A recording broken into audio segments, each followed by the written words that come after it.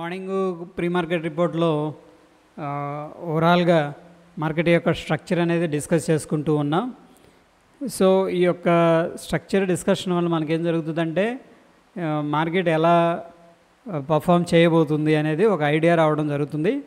But again hundred percent మనకి information ఇవ్వకపోయినప్పటికి కూడా మనకేంటంటే ఒక వ్యూ అనేది వెరీ వెరీ ఇంపార్టెంట్ అనమాట సో ఎప్పుడైతే మనకి వ్యూ అనేది జనరేట్ అవుతుందో ఆ వ్యూని బట్టి మనం ఏంటంటే పొజిషన్స్ అనేది ప్లాన్ చేసుకోవడం జరుగుతుంది. ఓకే ఎనీహౌ మనం ఈ యొక్క ప్రైస్ యాక్షన్ అనేది చూసుకున్నట్టయితే ఇక చూడండి మార్నింగ్ మనం చూసే టైంకి ఆల్రెడీ గ్యాప్ డౌన్ అయిపోయింది ఇది మన gift nifty and twenty thousand mark అనేది వెళ్ళట్లేదు. ఎందుకంటే మనకి ఐటీ ప్యాక్ అనేది స్ట్రాంగ్గా లేదు. ఎస్పెషల్లీ ఇన్ఫోసిస్ అండ్ విప్రో మార్కెట్ని స్ట్రాంగ్గా డ్రాగ్ చేసినాయి అనమాట కిందకి. దాని తర్వాత మనం ఇంపార్టెంట్ లెవెల్స్ అనేది మార్క్ చేసుకున్నాం. ఇక్కడ పంతొమ్మిది వేల ఆరు వందల తొంభై దగ్గర ప్రీవియస్గా స్ట్రక్చర్ సపోర్ట్ ఉంది. ఒకవేళ ఆ యొక్క స్ట్రక్చర్ బ్రేక్డౌన్ జరిగితే ఓవర్ నైట్ పొజిషన్స్ అనేది ప్లాన్ చేసుకుంటాం. లేదంటే మనం ఇంటర్డే ప్లే అనేది చేస్తాం. సో ఎనీహౌ ఈ యొక్క స్ట్రక్చర్ అయితే బ్రేక్డౌన్ జరిగింది. మనకి ఈ యొక్క స్ట్రక్చర్ ఎలా మార్క్ చేసామనేది ఇక్కడ క్లియర్గా కనిపిస్తుంది. దాని గురించి మనం డిస్కస్ చేసుకోవాల్సిన అవసరం లేదు. నెక్స్ట్ ఇంపార్టెంట్ లెవెల్ వచ్చేసరికి మనకి నిఫ్టీలో పంతొమ్మిది వేల ఐదు వందల ఇరవై మూడు అనమాట ఇది వెరీ ఇంపార్టెంట్ లెవెల్ నెక్స్ట్ ఒకవేళ ఎందుకంటే మార్కెట్ ఈ యొక్క రేంజ్లో కన్సోల్డేషన్ తీసుకుంది కాబట్టి చాలాసేపు కన్సోల్డేషన్ తీసుకొని పైకి వెళ్ళింది కాబట్టి స్ట్రక్చరల్గా సో ప్రీవియస్గా మనం దీన్ని ఎక్యుములేషన్ జోన్ అంటాం. మార్కెట్ అక్కడి నుంచి కూడా ఎక్యుములేషన్ చేసుకున్నాక స్ట్రాంగ్గా పైకి వెళ్ళటం అనేది జరిగింది. ఒకవేళ ఈ జోన్లోకి వస్తే ప్రైస్ యాక్టివిటీ అనేది అబ్జర్వ్ చేయాలి మనం. సో ఒకవేళ అక్కడ నుంచి కూడా ఒక్కొక్కసారి స్ట్రాంగ్ సపోర్ట్ తీసుకొని మళ్ళీ బౌన్స్ అవుతుంది. నిజంగా బయర్స్ అనేవాళ్ళు లేరు సెల్లర్స్ డామినేట్ చేస్తున్నారు మార్కెట్లో అనుకుంటే ఈ యొక్క ఇంపార్టెంట్ లెవెల్ అనేది మారిపోతుంది అనమాట డౌన్ సైడ్కి ఎప్పుడైతే డౌన్ సైడ్ అనేది మారిపోతుందో ఏంటంటే సెంటిమెంట్ ఓవరాల్గా బులిష్ దాకా ఉన్నాం నిన్నటిదాకా. ఆ యొక్క బులిష్ సెంటిమెంట్ అనేది బేరిష్కి వచ్చే అవకాశం ఉంటుంది. ఓకే ఒకసారి ఇంట్రాడే ఆపర్చునిటీస్ గురించి డిస్కస్ చేసుకుందాం.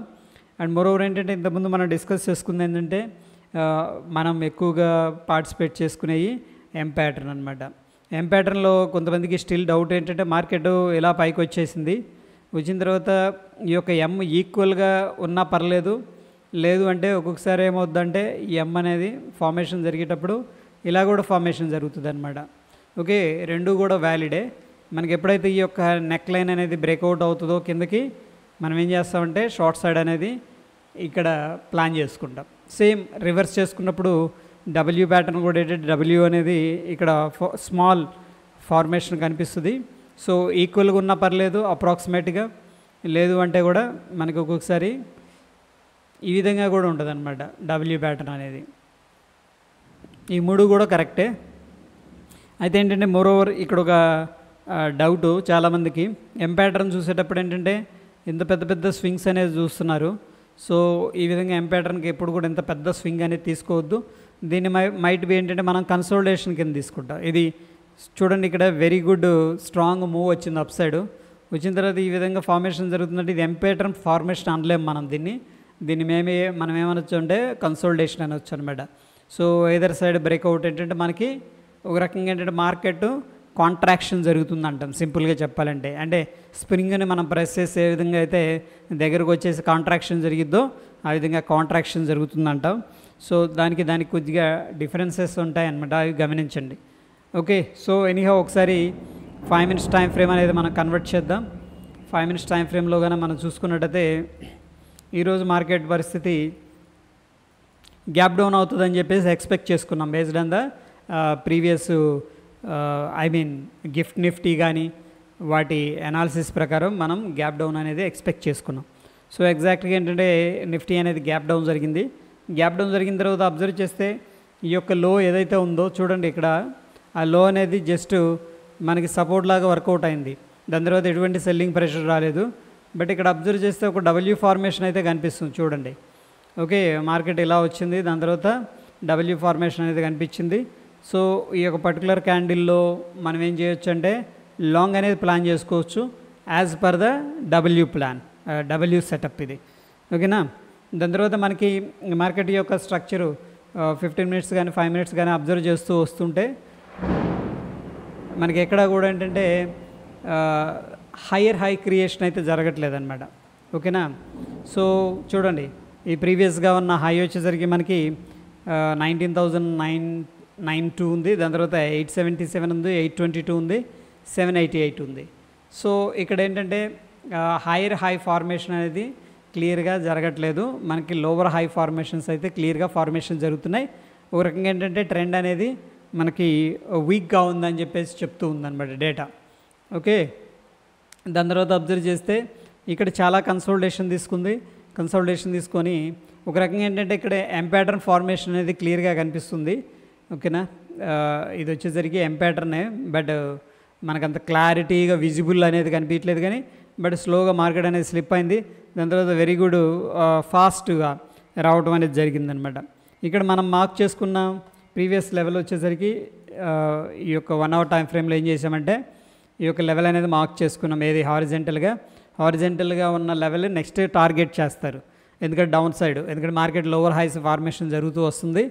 అదేవిధంగా డౌన్ సైడ్ ఏదైతే సపోర్ట్ ఉందో ఆ యొక్క సపోర్ట్ని ఏంటంటే వాళ్ళు టార్గెట్ చేసే అవకాశం ఉంది. ఎనీహౌ ఇక్కడ ఎప్పుడైతే సపోర్ట్ అనేది టచ్ అయిందో కైండ్ ఆఫ్ డబ్ల్యూ ప్యాటర్న్ అనేది కనిపిస్తుంది ఇక్కడ. ఈ యొక్క క్యాండిల్ కాంబినేషన్ చూసుకున్నట్టయితే ఇక డబ్ల్యూ ప్యాటర్న్ అనేది బ్రేక్అవుట్ అయింది. పర్ఫెక్ట్గా పిక్చర్ పర్ఫెక్ట్గా లేదు ఇక్కడ అండ్ ఇక్కడ but anyhow that is the formation అనమాట దాని తర్వాత మనం చూసుకున్నట్టయితే ఇక్కడ క్లియర్గా మనకి ఎం ప్యాటర్న్ అయితే ఫార్మేషన్ జరిగింది. మార్కెట్ టై- చాలా టైం అనేది స్పెండ్ చేసింది. టైం స్పెండ్ చేసిన తర్వాత మార్కెట్ ఆ యొక్క లెవెల్ బ్రేక్ చేసుకొని మళ్ళీ ప్రీవియస్గా లో ఏదైతే ఉందో ఆ యొక్క ఇంపార్టెంట్ లోస్ అనేవి బ్రేక్ చేయడం అనేది జరిగింది. అదేవిధంగా మనం ఒకసారి బ్యాంక్ నిఫ్టీ అనేది చూసుకున్నట్టే బ్యాంక్ నిఫ్టీ కూడా ఈరోజు చాలా చక్కగా పర్ఫామ్ చేసిందని చెప్పొచ్చు డౌన్ సైడ్. సో మనం చూసుకున్నట్టయితే ఈ యొక్క కన్సోల్డేషన్ తీసుకుంది మార్కెట్. బ్రేక్అవుట్ అయింది. చూడండి ఈ యొక్క స్మాల్ క్యాండిల్లో కూడా ఏంటంటే ఒకవేళ ఆప్షన్ స్కాల్పర్గా అయితే ప్రాఫిట్ అనేది తీయగలగాలన్నమాట. ఓకేనా? ఇక్కడ మనకి థర్టీ ఫార్టీ పాయింట్స్ మూవ్ వచ్చింది యాక్చువల్గా. ఇక్కడ డబ్ల్యూ ప్యాటర్న్ అనేది ఫార్మేషన్ జరిగిన తర్వాత డబ్ల్యూ ప్యాటర్న్ బ్రేక్అవుట్ అయింది. అక్కడ నుంచి కూడా చక్కగా పై పైకి వెళ్ళింది అండ్ ప్రీవియస్ రెసిస్టెన్స్ దగ్గర మార్కెట్ అనేది స్ట్రగుల్ అయింది.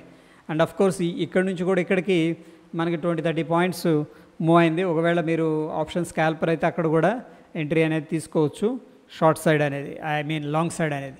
దాని తర్వాత మనం అబ్జర్వ్ చేసుకున్నట్టయితే మార్కెట్ ఈ యొక్క లోవర్ హై ఫార్మేషన్స్తో వెళుతూ ఉంది.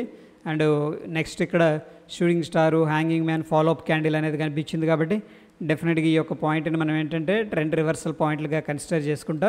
దాని తర్వాత మన ఎంట్రీ ఎక్కడ ఉంటుందంటే ఈ యొక్క క్యాండిల్లో ఉంటుందన్నమాట. ఎందుకంటే మనకి క్లియర్గా ఎంపాటర్న్ ఫార్మేషన్ అనేది జరిగింది ఇక్కడ.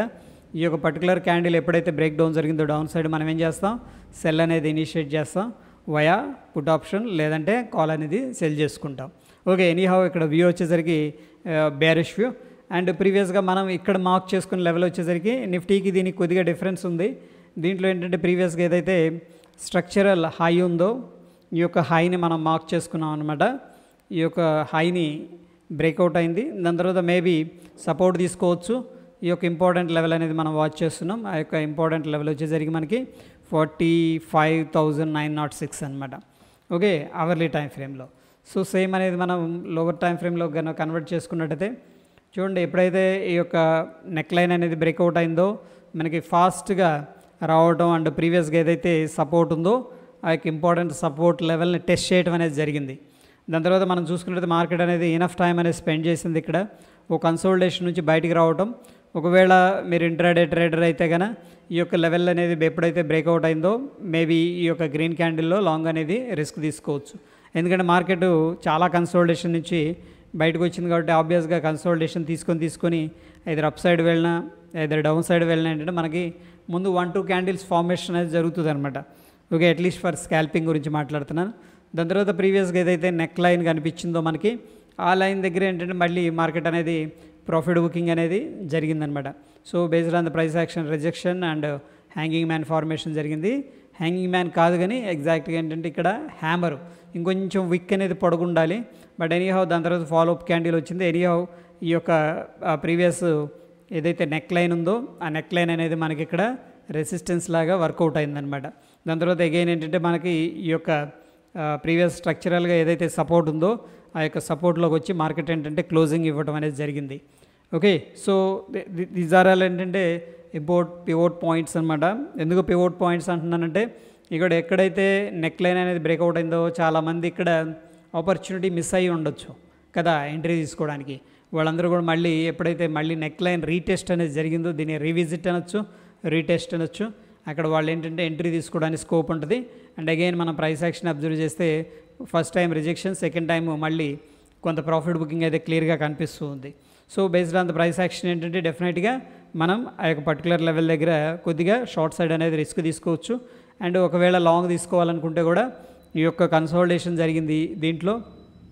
అండ్ ఈ యొక్క క్యాండిల్ ఏంటంటే కన్సోల్టేషన్ నుంచి బయటకు వస్తుంది కాబట్టి క్యాండిల్ పైన మనం ఎంట్రీ తీసుకున్నా సరే ఇక్కడ నుంచి ఇక్కడికి మనకి ఇమీడియట్గా రెసిస్టెన్స్ లెవెల్ ఇక్కడ ఉంది కాబట్టి అక్కడ దాకా ఏంటంటే మనం టార్గెట్ అనేది ప్రొజెక్ట్ చేసుకొని అట్లీస్ట్ స్మాల్ స్కాల్ప్ అయినా లాంగ్ సైడ్ అనేది ప్లాన్ చేసుకోవచ్చు. So this is all about ఏంటంటే పివోటల్ పాయింట్స్ నేనైతే స్ట్రాంగ్గా ఈ యొక్క ప్రీ మార్కెట్ రిపోర్టు మనం ఏదైతే చెప్తున్నామో అది చాలా జాగ్రత్తగా అబ్జర్వ్ చేయండి డైలీ డెఫినెట్గా ఏంటంటే ఒక వ్యూ అనేది రావడం జరుగుతుంది. వితౌట్ వ్యూ ఏంటంటే మనం మార్కెట్లో ముందుకెళ్ళలేము ఎప్పుడైతే మనం మంచి వ్యూ అనేది జనరేట్ చేసుకుంటామో ఆ డైలీ బేసిస్లో మనకి ఎటు సైడ్ ప్లే అవ్వాలి ఎక్కడ ప్లే అవ్వాలి అండ్ క్రూషియల్ లెవెల్స్ ఏంటి అనేది కూడా ఐడియా ఉంటుంది. హోప్ సో వీడియో హెల్ప్ అయిందని చెప్పేసి అనుకుంటున్నాను. వీడియో నచ్చితే లైక్ చేయండి షేర్ చేయండి. మరొక ఎపిసోడ్లో మళ్ళీ కలుసుకుందాం. ధన్యవాదాలు.